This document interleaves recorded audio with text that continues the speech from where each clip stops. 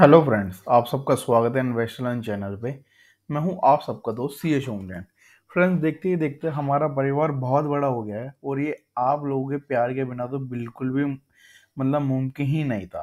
आज हमारी फैमिली के अंदर इतने सारे लोग हो गए हैं, तेरह सौ से भी ज़्यादा लोग हो गए हैं और हमारा परिवार बहुत तेज़ी से बढ़ता जा रहा है। तो thank you so much friend इतना सारा प्यार बरसाने के लिए।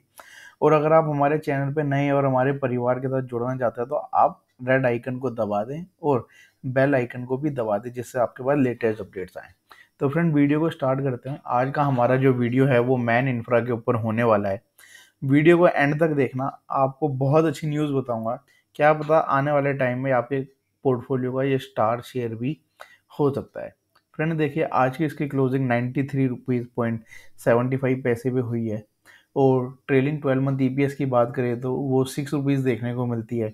और वहीं पी e की बात करें तो फिफ्टीन पॉइंट सिक्स फाइव और सेक्टर पी की बात करें तो thirty six point six two है।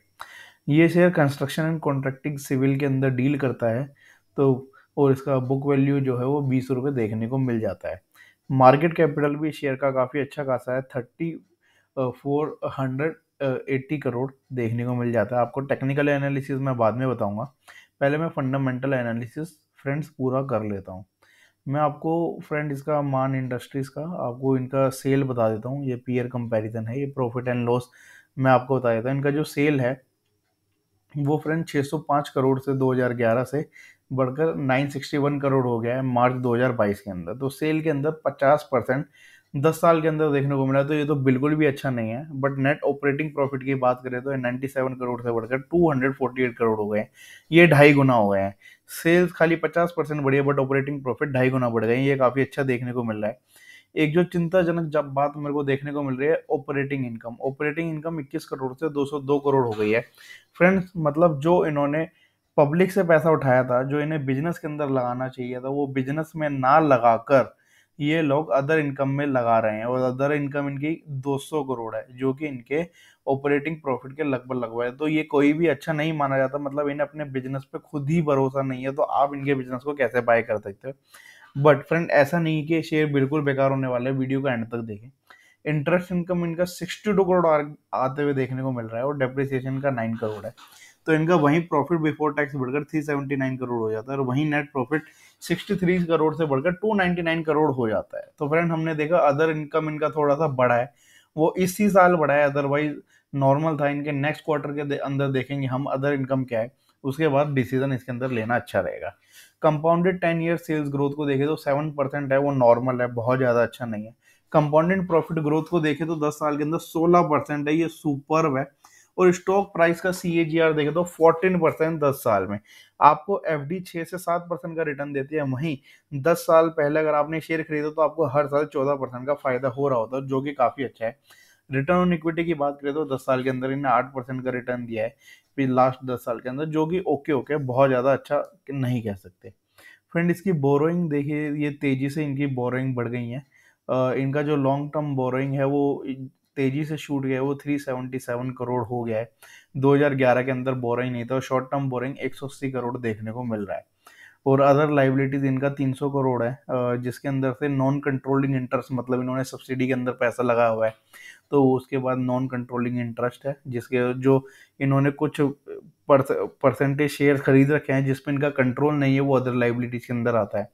ट्रेड पेबल जो इनके क्रेडिटर है, वो 104 करोड़ के हैं और अदर लाइबिलिटी आइटम 118 करोड़ की यहाँ पर देखने को मिल जाती हैं।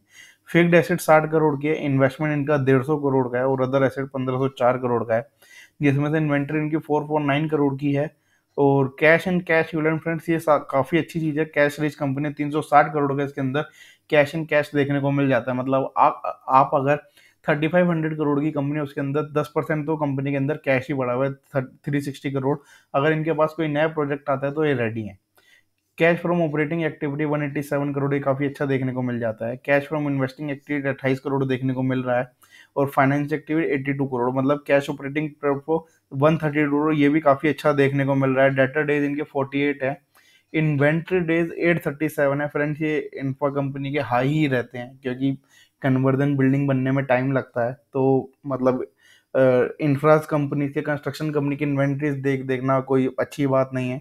और डेज़ पेबल की बात करें तो 195 है। तो हम इनको छोड़ भी सकते हैं। आरओसी की बात करें तो 34 परसेंट देखने को मिलता है। प्रमोटर की शेयर होल्डिंग 64 परसेंट से 66 परसेंट हो गई है।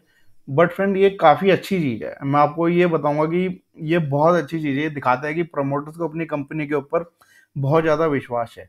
D I S one point zero three percent से बढ़कर one point six three percent हो गया और पब्लिक में अच्छी कंपनी में पब्लिक की शेयर होल्डिंग हमेशा कमी होते हुए दिखती है। वो थर्टी फोर परसेंट से थर्टी परसेंट हो गई है। फ्रेंड्स आइए इसके शेयर्स की बात करें। तो शेयर ने काफ़ी अच्छा रिटर्न आने वाले आठ दस सालों के अंदर दिया ये मैंने आपको दिखा भी दिया अगर मैं फाइव फाइव ईयर का चार्ट देखूँ तो फ्रेंड ये देखिए, ये शेयर नौ रुपये अस्सी पैसे का हुआ करता था। ये नाइन्टी थ्री रुपीज़ हो गया है। और मैंने आपको इसके फाइनेंशियल्स की जो दमदार है वो दिखाई दिया है। फ्रेंड्स इस शेयर के अंदर काफ़ी अच्छा होते हुए क्या देखने को मिल रहा है? इसके जो पराग के शाह, जो इसके प्रमोटर हैं, वो लगातार इस कंपनी के अंदर हिस्सा बढ़ा रहे हैं। 12 अगस्त 2022 के अंदर इन्होंने 2000 शेयर खरीदे थे एट्टी फाइव रुपीज़ पे। पराग के शाह ने 15 सितंबर को, आज 19 सितंबर है, चार दिन पहले इसके अंदर one lakh forty five thousand share खरीदे थे नाइन्टी फाइव रुपीज़ पे। और पंद्रह सितंबर को ही इन्होंने फिफ्टी फाइव थाउज़ेंड शेयर खरीदे थे ninety five point two nine पे। ये पैसे का डिफरेंस है तो ये दिखाता है मार्केट एक्विजिशन ये कर रहे हैं, और आज इन्होंने थर्टी थाउज़ेंड शेयर खरीदे हैं। कितने रुपए पे? Friends ninety three rupees point seven five पे इन्होंने थर्टी थाउज़ेंड शेयर खरीदे हैं।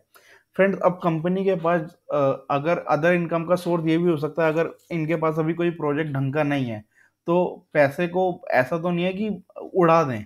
तो उसको इन्होंने अच्छी जगह कमाया हुआ तो अदर इनकम भी है। बट फ्रेंड बहुत ज़्यादा अदर इनकम होना भी एक अच्छा ट्रेंड नहीं दिखाता है। बट ओवरऑल स्टॉक मेरे को काफ़ी बैलेंस लग रहा है। आपके पोर्टफोलियो के अंदर ये शेयर जगह बना सकता है, क्योंकि जब प्रमोटर अगर अपनी कंपनी के शेयर्स को बाज़ार से खरीदे तो उन्हें भरोसा है कि आगे आने वाले टाइम में ये लोग two time three time four time five times market में रिटर्न दे सकते हैं।